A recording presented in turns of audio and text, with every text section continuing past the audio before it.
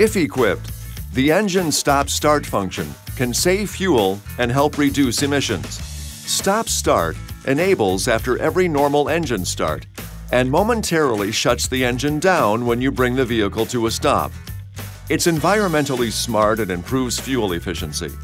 What's more, your vehicle has some key enhancements and upgrades, including a high durability engine, starter, and deep cycle battery to handle the additional engine starts.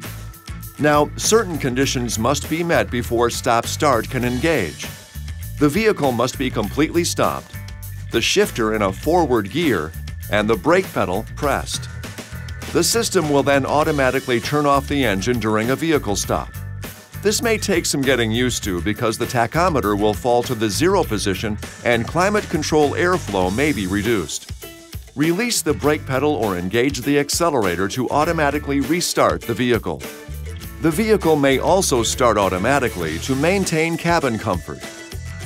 When the vehicle stops, a green icon on the instrument cluster lets you know Stop Start is active. To check system status, use the controls on the left-hand side of the steering wheel to scroll to the Stop Start page in your instrument cluster main menu. If vehicle speed is above the minimum speed threshold and all necessary conditions are met, you'll see a Stop Start Ready message.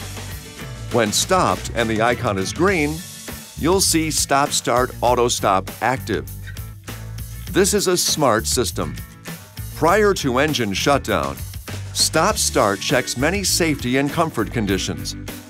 If the green icon does not appear at a stop, you can go to the Stop Start page in your instrument cluster to see which condition is currently preventing auto stop activation.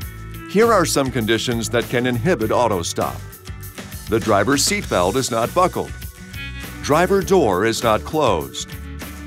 Cabin heating or cooling is in progress and an acceptable cabin temperature has not been reached. The transmission is not in a forward gear. The hood is open. Battery temperature is too warm or too cold. Low battery charge. Driving on a steep grade.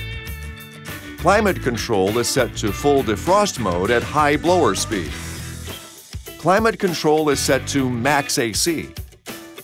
Engine has not reached normal operating temperature. Insufficient pressure on brake pedal. Engine temp is too high. Minimum speed threshold has not been met after a previous auto stop. Sharp angled steering maneuver.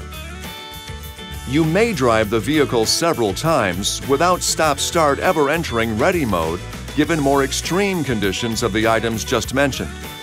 Again, check out the Stop Start page in your instrument cluster to find out why the system isn't ready to activate. If you encounter a Stop Start issue requiring dealer service, you'll see a yellow icon when the vehicle is stopped. Remember, Stop Start turns on automatically at engine start. To turn it off manually, just push the Stop Start switch. The switch light will appear to let you know the system is off. Push the switch again to reactivate the system.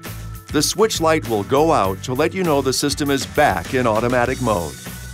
This video is not intended to take the place of your owner's manual.